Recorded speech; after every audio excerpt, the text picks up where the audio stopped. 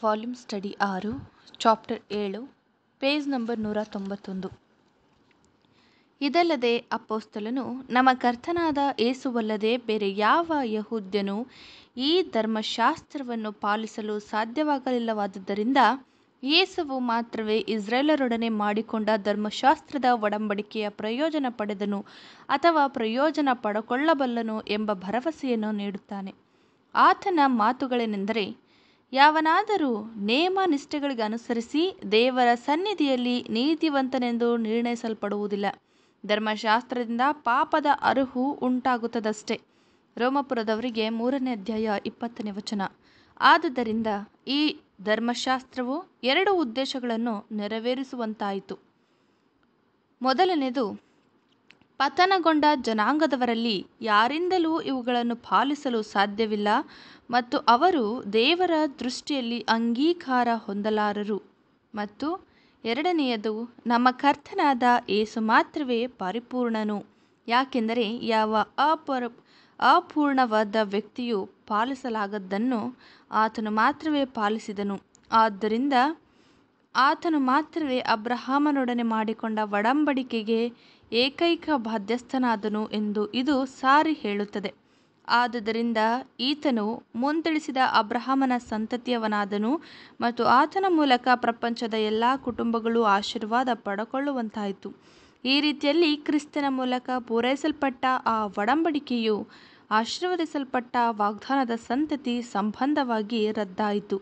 ಆದರೆ ನಾವು ಈ ವಾಗ್ದಾನವನ್ನು ಹಿಂದಿರುಗಿ ಸೂಕ್ಷ್ಮವಾಗಿ ನೋಡುವಾಗ ಕೆಲವು ರೀತಿಯಲ್ಲಿ ಅದು ಎರಡರಷ್ಟಾಗಿದೆ. ವಾಗ್ದಾನದಲ್ಲಿ ತಿಳಿದು ಬರುವಂತೆ ಅದು ಒಂದು ಆತ್ಮಿಕ ಪರಲೋಕ ಸಂತಾನನೊಳಗೊಂಡಿದೆ. ಮತ್ತು ಅದರೊಂದಿಗೆ ಒಂದು ಭೂಲೋಕ ಸಂತಾನವನ್ನು ಒಳಗೊಂಡಿದೆ. ನಿನ್ನ ಸಂತತಿಯನ್ನು ಆಕಾಶದ ನಕ್ಷತ್ರಗಳಂತೆಯೂ, ಸಮುದ್ರ ತೀರದಲ್ಲಿರುವ ಉಸುಬಿನಂತೆಯೂ ಅಸಂಖ್ಯವಾಗಿ ಮಾಡುವೆನು. ಆದಿಕಾಂಡ ಇಪ್ಪತ್ತೆರಡನೇ ಅಧ್ಯಾಯ ಹದಿನೇಳನೇ ವಚನ. ಒಡಂಬಡಿಕೆಯನ್ನು ಪೂರೈಸಿದ ನಮ್ಮ ಕರ್ತನಾದ ಯೇಸುವು ಪ್ರಪಂಚದ ಎಲ್ಲ ಕುಟುಂಬಗಳ ಆಶೀರ್ವಾದದ ವಿಷಯವನ್ನು ತನ್ನ ವಶದಲ್ಲಿಟ್ಟುಕೊಂಡಿರುತ್ತಾನೆ. ಆದರೆ ಆತನು ತೆರೆದು ಕಾರ್ಯವೆಸಗುವ ದೈವಿಕ ಯೋಜನೆಯ ಪ್ರಕಾರ ಆತನು ಲೌಕಿಕ ಸಂತಾನದವರಲ್ಲಿ ಕೆಲವರನ್ನು ಅಂದರೆ ಸ್ವಾಭಾವಿಕವಾಗಿ ಭೂಲೋಕದ ಸಂತತಿಯವರಾದ ಇಸ್ರೇಲರನ್ನು ಆಶೀರ್ವಾದ ಕಾರ್ಯದಲ್ಲಿ ತನ್ನ ಭೂಲೋಕದ ಸಾಧನಗಳನ್ನಾಗಿ ಅಥವಾ ನಿಯೋಗಗಳನ್ನಾಗಿ ಉಪಯೋಗಿಸಲು ಸಂತೋಷಿಸುತ್ತಾನೆ.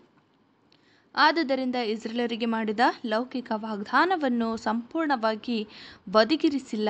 ಆದರೆ ಅಪೋಸ್ತಲನು ಸಾರಿ ತಿಳಿಸುವಂತೆ ಕ್ರಿಸ್ತನ ದ್ವಿತೀಯಾಗಮನದಲ್ಲಿ ದೇವರ ರಾಜ್ಯವು ಸ್ಥಾಪಿತವಾದಾಗ ಸ್ವಾಭಾವಿಕ ಇಸ್ರೇಲರಿಗೆ ಆಶೀರ್ವಾದವನ್ನು ಕಾದಿರಿಸಲಾಗಿದೆ.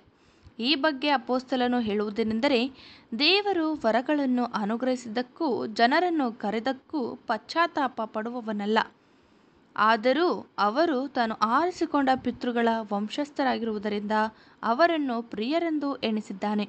ಅವರು ಈಗ ಅವಿಧೇಯರಾಗಿದ್ದರೂ ನಿಮಗೆ ದೊರಕಿದ ಕರುಣೆಯನ್ನು ಹೊಂದುವರು. ದೇವರು ಎಲ್ಲರಿಗೂ ಕರುಣೆಯನ್ನು ತೋರಿಸುವ ಉದ್ದೇಶವುಳ್ಳವನಾಗಿದ್ದು ಎಲ್ಲರನ್ನು ಅವಿಧೇಯತೆ ಎಂಬ ದುಸ್ಥಿತಿಯಲ್ಲಿ ಕಟ್ಟಹಾಕಿದ್ದಾನೆ.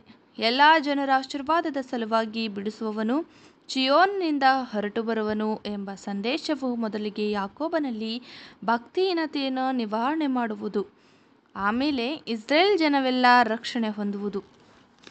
ರೋಮಪುರದವರಿಗೆ ಹನ್ನೊಂದನೇ ಅಧ್ಯಾಯ ಇಪ್ಪತ್ತಾರರಿಂದ ಇಪ್ಪತ್ ಮೂವತ್ತೆರಡನೇ ವಚನ ನೋಡಿರಿ.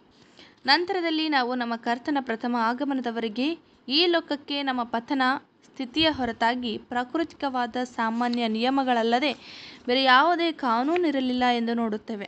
ಅಂದರೆ ಬಿದ್ದು ಹೋದ ಸೆರೆಮನೆಯಲ್ಲಿರುವ ಸ್ಥಿತಿಯ ಈ ನಿಯಮವು ನಮ್ಮನ್ನು ನಮ್ಮ ತೊಂದರೆಗಳಿಗಿಂತ ತೊಂದರೆಗಳಿಂದ ಪಾರಾಗುವ ಶಕ್ತಿ ನಮ್ಮಲ್ಲಿ ಇಲ್ಲವಾದರೂ ನಾವು ಅವುಗಳಿಗಾಗಿ ತ್ವರೆಪಡಬೇಕು ಎಂದು ಪ್ರಕಟಿಸುವುದಾಗಿತ್ತು. ಮೂಲ ತೀರ್ಪಿನ ಪ್ರಕಾರ ಮರಣವು ನಿಶ್ಚಯ. ಇದರಿಂದ ಪಾರಾಗುವ ಯಾವ ನಿರೀಕ್ಷೆಯೂ ನಮಗಿಲ್ಲ.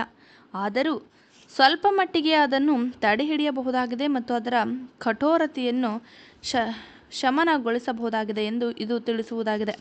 ಇಸ್ರೇಲರಿಗೆ ನೀಡಲ್ಪಟ್ಟ ಮತ್ತೊಂದು ಕಾನೂನು ಅಥವಾ ನಿಬಂಧನೆಯನ್ನು ಮೋಶೆಯು ಗೌರವಿಸಿ, ಅದು ಬೇರೆ ಯಾವ ಜನರಿಗಾಗಲಿ ಜನಾಂಗಕ್ಕಾಗಲಿ ಸೇರಿದ್ದಲ್ಲ ಎಂದು ತಿಳಿಸುವಂತೆ ಆತನು ನಮ್ಮ ಪೂರ್ವಿಕರ ಸಂಗಡ ಈ ನಿಬಂಧನೆಯನ್ನು ಮಾಡದೆ ಈಗ ಇಲ್ಲಿ ಜೀವದಿಂದಿರುವ ನಮ್ಮ ಸಂಗಡಲೇ ಇದನ್ನು ಮಾಡಿದನು. ಧರ್ಮೋಪದೇಶ ಕಂಡ ಐದನೇ ಅಧ್ಯಾಯ ಮೂರನೇ ವಚನ. ಇಸ್ರೇಲರನ್ನು ನೀತಿ ನಿರ್ಣಯಿಸುವ ಆ ಕಾನೂನಿನಿಂದ ಅದಕ್ಕೆ ಹೊಂದಿಕೊಂಡಿರುವ ಆಶೀರ್ವಾದಗಳನ್ನು ಅವರು ಈವರೆಗೆ ಲಾಭವಾಗಿ ಪಡೆದರೆಂದು ನಾವು ನೋಡುತ್ತೇವೆ.